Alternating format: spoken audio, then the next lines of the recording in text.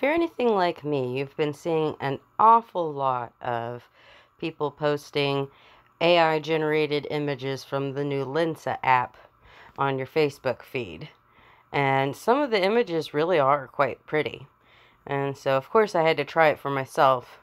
And I found out that the AI generated version is actually something that is a paid feature. Uh, the free to use parts don't actually have that, but they actually do have some pretty interesting features that I've been enjoying. The one thing that's really a little frustrating about it is that you can only have three pictures added to your portfolio per day if you're using free. You can re edit them if you'd like, but you can only upload three. So if you upload something and then you figure out this doesn't really work, like this one really didn't work for me because I wasn't wearing anything, my neck looks really short. Anything that I tried to do, it really it didn't quite work. Whereas this one, uh, it's a little bit better as far as something to use, but it took me you know, uploading a few things and seeing what worked and when, like this one, I don't think it really worked really well either. Um, you know, really, I think the key with using this app is having something with like a very graphic, like pose or portrait uh, with really interesting, like, see, this is one of my favorite dresses that I have, you know, or like this one where I'm wearing a wig uh, which this one I think is probably a good one to kind of play with the features and, and kind of show uh, what it can do since it's a kind of interesting picture to begin with. And so it kind of lends itself to a little bit of fantastical elements as you can see with the version I have right here. And so if you want to like re-edit it, you know, you it's already saved. Let's see, I don't think I had anything on there. Backdrop, none. And I think it was on effects. Yeah. And they have a lot of different features here, but so we'll just kind of start through. They have a magic retouch. Uh, I, I don't really think that it was necessary for this picture so much because I like the lighting in it. So I didn't really use that, but you know, it's got you know a pretty good amount of uh, different options uh, and also you know the magic one so that you can just sort of automatically do things um, now this picture is actually one that uh, I've cut out and the background is transparent that's why it's just black right now but it does have things like where you can remove the sky or remove backgrounds or you know mess around with what's already natively there uh, as well as they have all these different like weird things. and and pretty good options. There are in the art styles there are some that are paid only, but I think the backdrops are all yeah, they're all in the free to use part. And see they've got some really interesting things. Like I'm definitely going to enjoy playing around with this, I think. So for a free to use app, yeah, I think I'm going to like it. And then the sky has some pretty cool options too. I will it do sky on this one? Yeah. It if it doesn't think there's a sky, like if it thinks you're indoors, it won't let you replace the sky.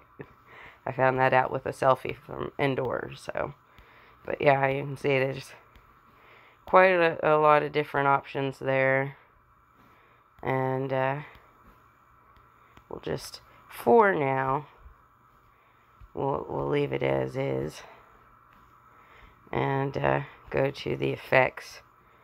And so the thing that I think is really interesting about this is the FX, the FX part has different variations, which is nice, you know. So you can do different things that are similar, different types of snowflakes. I think that's pretty cool. And then they have like this one doesn't really look very good with the no background because it pinks out the background, but well, they have texture. Make it look like old photograph or something.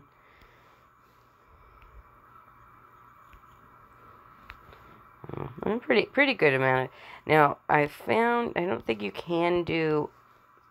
At least in some of the cases you can't do the FX and the art styles at the same time. I don't think. I'm still kind of playing around with that. But let's see here. These are the really, this is the fun part, yeah. And so you can see it kind of, they have ones that kind of make it look like a painting. Uh, some of these are uh, paid. If you attempt to use one of the paid ones, uh, what you get is you uh, get something off offering you the option to subscribe. So, just in case you wanted to know. um, but yeah, there's uh, several different uh, options here. The the cartoon one doesn't seem to have very many unfree options, which you know, like that's I think a lot like what you're seeing from the the Lensa. Um, but this one is really neat. I, I actually really like the Brando one. it doesn't look so good on this picture, but it does look on, on a lot of other pictures. I would be very interested to see the, the Hepburn or Monroe. Um, but I'm not paying for that. yeah, I mean, there's a lot of really nice options, I think even just within the free, it is a little frustrating when you come across something you're like, oh, I like that. That looks interesting. And then you realize that there's a little lock in the corner and you didn't notice it. Like, ah, okay. But there's there, there's definitely some interesting options there. Not all of them. like that one, it, it looks very strange. but there's there's a there's a whole different uh, array of, of different things you can do. The one thing I was a little underwhelmed with was the filters. There's the filters are just very basic, I think. You go through here and you can just see it's just a little tiny tint, basically.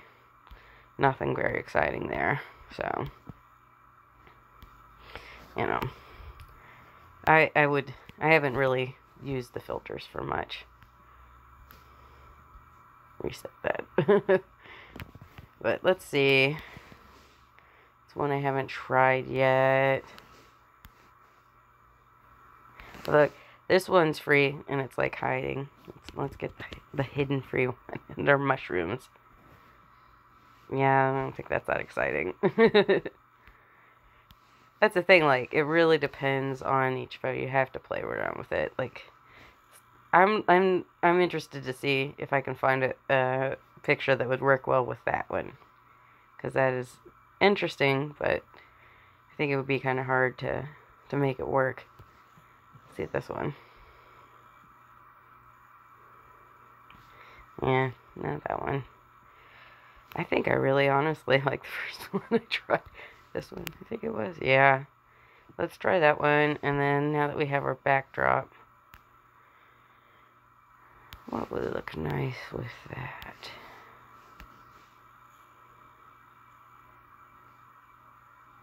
Mm, maybe.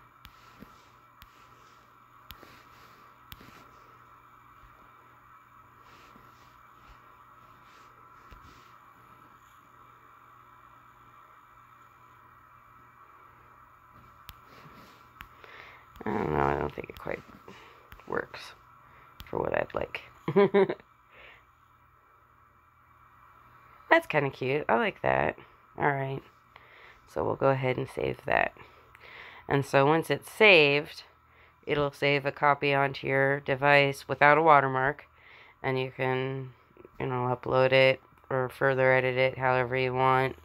And then if you go back to your little like portfolio, it's going to look like this, but then you can reset it and redo it as many times as you want. So, um, that is how Lensa works as a free app experience, as far as I can tell so far in, in my two days of using it. so I'm not rating it yet.